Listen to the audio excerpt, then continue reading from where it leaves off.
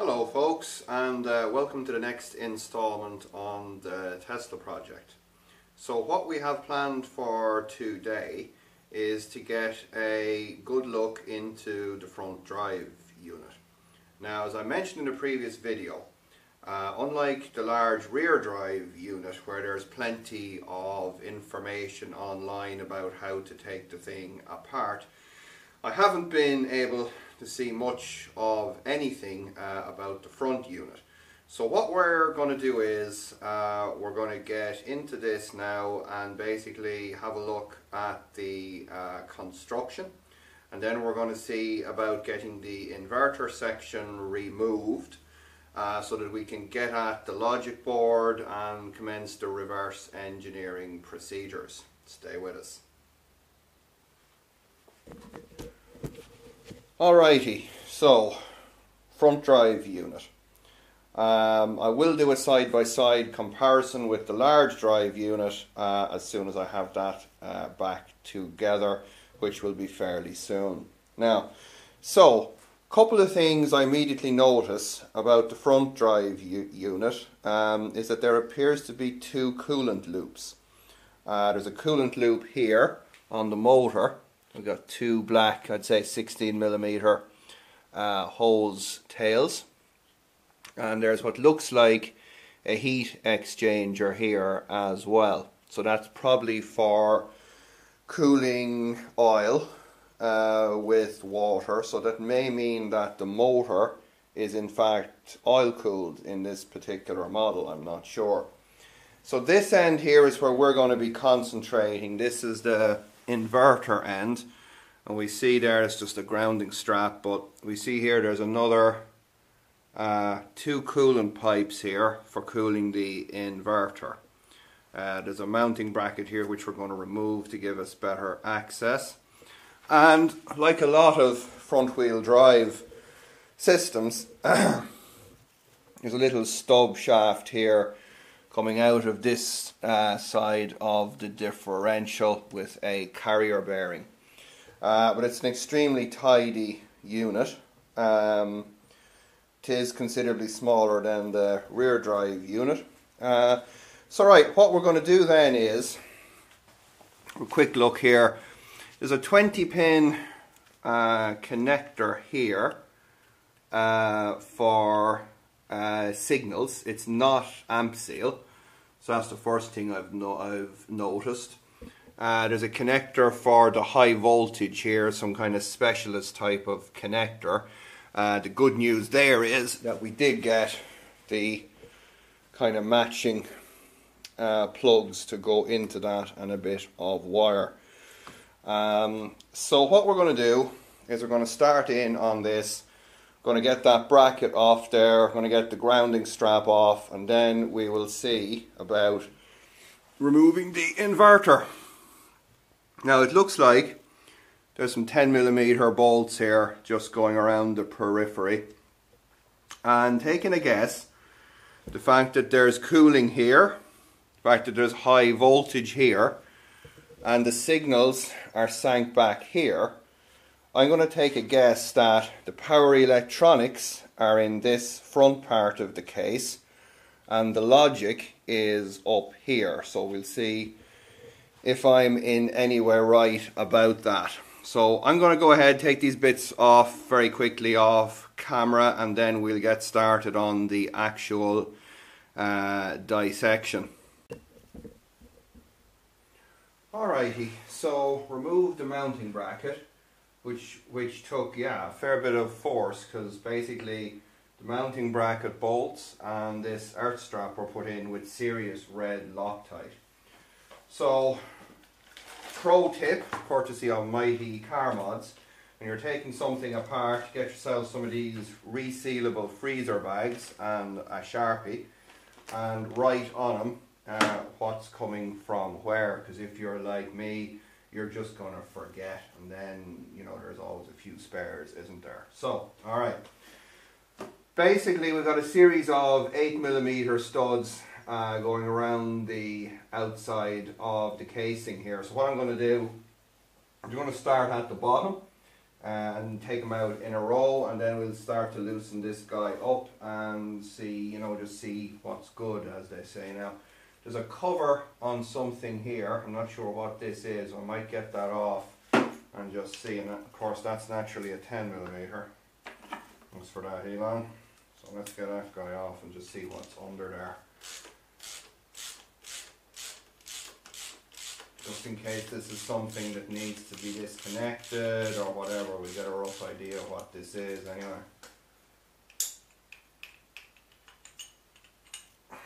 Okay. Okay, so there's some kind of a stopper in there, I'm not sure what that is.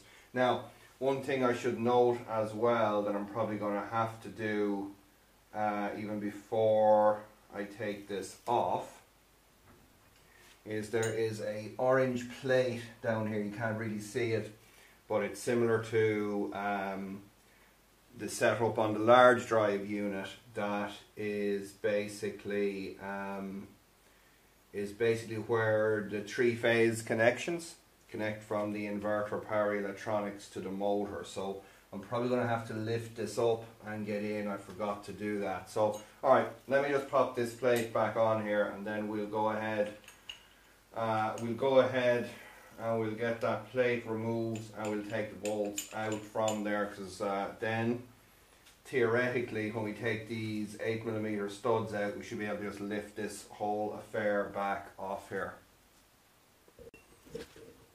Alrighty, so just to make life easier uh, I took a quick uh, plan B and took the large mounting bracket there off the back of the motor that lets me tilt the motor up here at this kind of an angle on the dolly give me better access to this cover plate so cover plate has a sticker on here warning me of all kinds of death and consequences like that.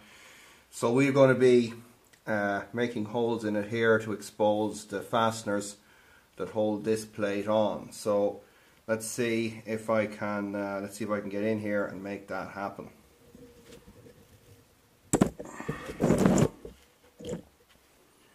I'm not sure what these fasteners are but I remember this from the large drive unit uh, let's see here these gloves don't really help where are my delicate hands let's see here Oh no, the warranty. Oh no, the warranty's void. Oh crap. Yeah, the warranty's void. Oh no. Oh well. There goes my plans for claiming this was all accident damage when it blows up. There we go. Void. Void. Okay, so we got two. Um, looks like we got two look at 8 millimeter fasteners here and there's two kind of mounting pins here as well so alright let's get the socket arm on that in a second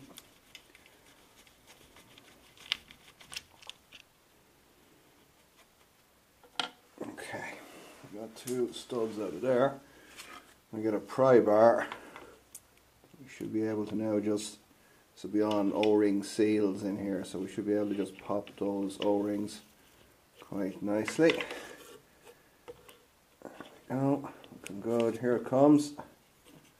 And we're out. Okay, sealing plate is out.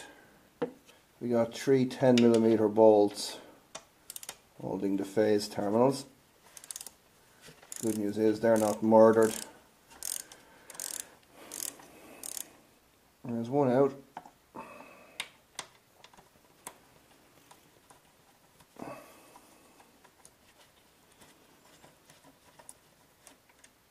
There's two out.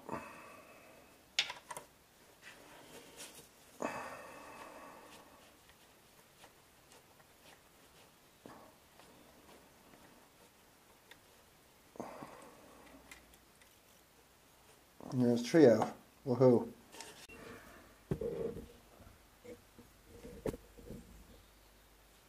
Alright, so what I'm going to do now is go back to the original plan and go around the casing here and take out these 8mm bolts.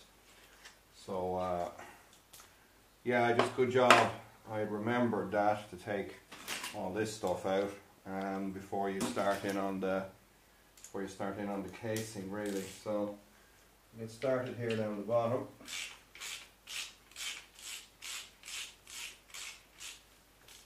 Okay, and this one down here. Okay. This is a hollow aluminium casing, so I got to be particularly gentle with it. Alright, no metal objects.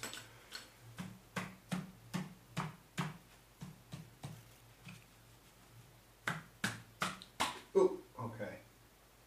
Alright, so we've now broken this guy loose. It's sitting on my little block of wood here.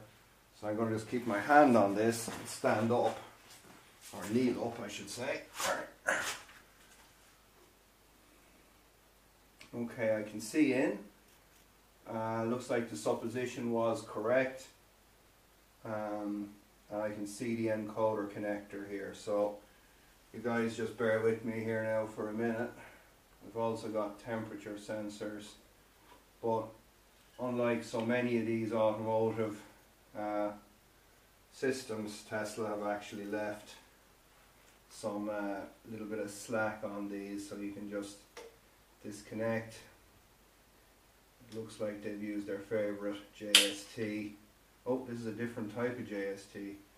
Here it comes guys.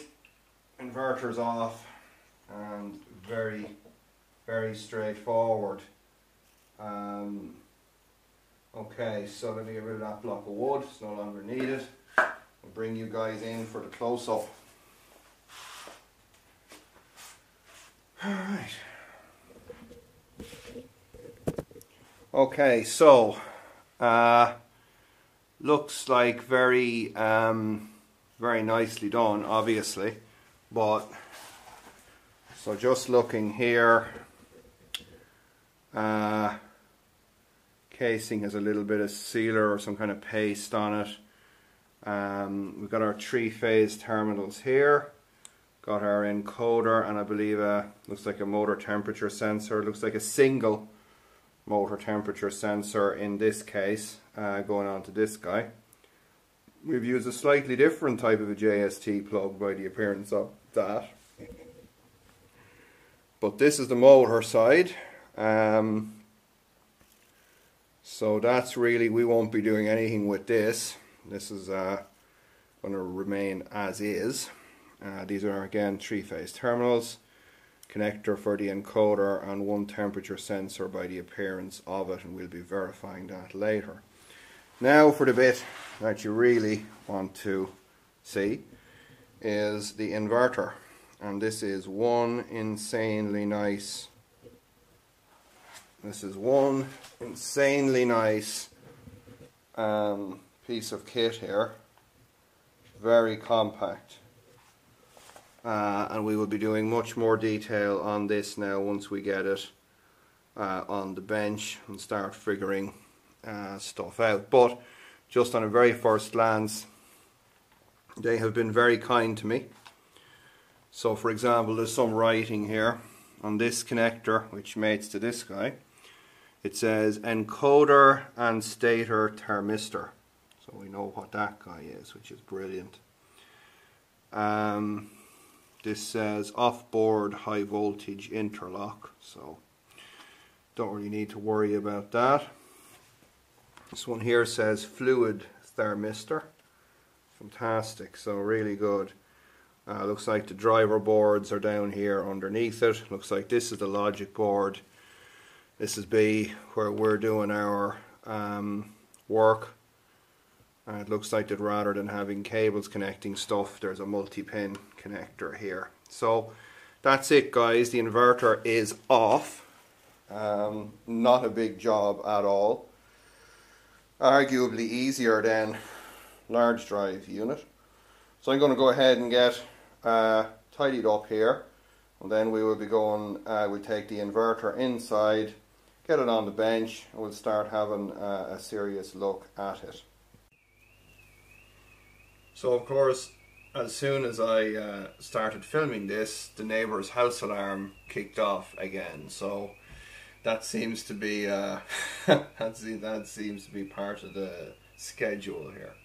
Anyway, uh, we have the inverter here on the bench and before I do anything else uh, I've made a few observations here I just want to talk you guys through. So what you're seeing here on the top is basically the logic board. So this is what we're going to be you know, reverse engineering and redesigning is this PCB here on the top. Now, a couple of things to note straight away. Number one is the board is definitely larger than the uh, existing. Uh, like here, for example, is one of the bare boards that I made for the large drive unit, and as you can see, you know, there's you could probably get nearly two of them in there. There's uh, there's quite a bit of extra size. Now, first thing to jump out is these connectors here. They are JST, uh, but they are a different type of JST. So we're going to have to find out what they are. Um, they're also through hole pins uh, rather than the surface mount type uh, that were used on the large drive unit. There's a connector here, so where you see this blue plastic, there's a 20 pin connector to the outside world uh, where signals and so on, power signals, all that kind of thing come in. So I'm, I'm going to get a pin out of that from my service manual and we'll start to power this thing up. But it doesn't look like an AMPSEAL and it's got 20 pins which is a non-standard uh, connector for the AMPSEAL range. Uh, so we need to find out what that guy is. Next thing that jumped out at me was that we're using what looked like Hall effect uh, current sensors here and the connections are for these current sensors are directly soldered to the PCB there's four here and four here so that is going to present an interesting little challenge for us um, insofar as that um, when we come to replacing this card we're going to have to desolder these current sensors. So there looks to be a kind of a multi-way connector, uh, 24 pins, that connects the logic board here uh, to the drivers and so on that go on underneath the um, the the logic board. Now, 24 pins is kind of interesting because on the um, on the large drive unit uh, they happen to use a 24 pin um, JST connector uh, for connecting to the IGBT drivers so could be similarities. Uh, from a kind of a you know overview of the PCB there's three large uh, QFP packages I haven't um, looked at what they are yet but I'm going to take a guess. It's the kind of typical uh, two TI uh, microprocessors and a um, a you know some kind of a PLD of some sort. But it may not be but I'll have a look at them later on and identify them for you guys.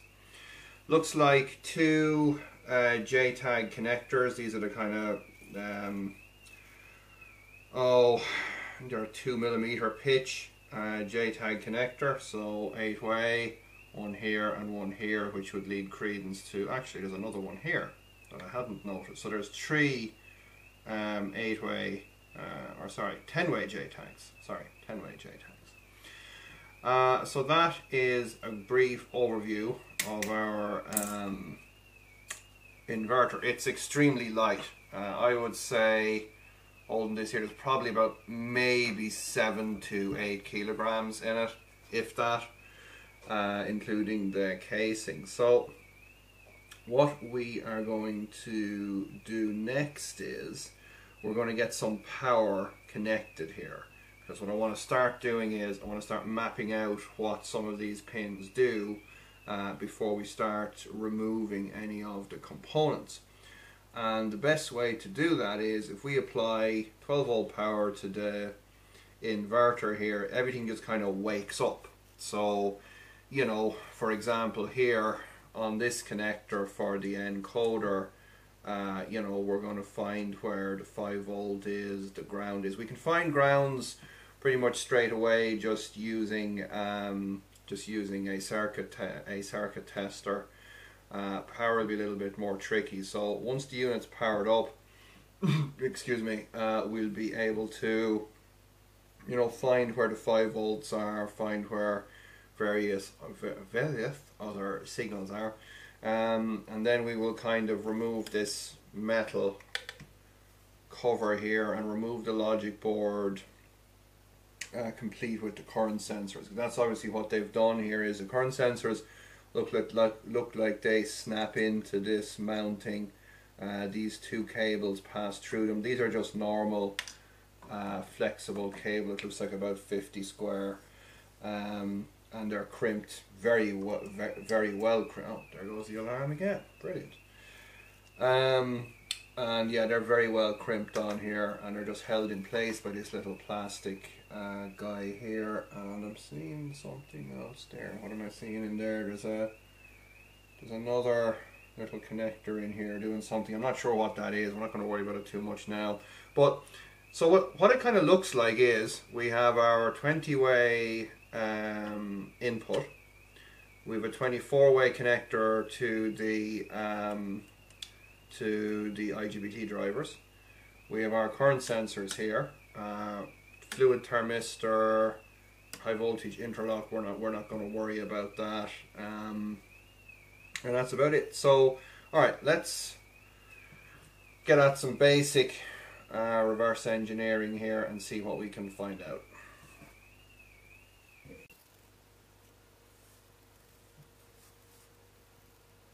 Alrighty, so 40 bucks to a dodgy Russian website later and uh, trawling through some more modern uh, service manuals and wiring diagrams we have got the thing powered up.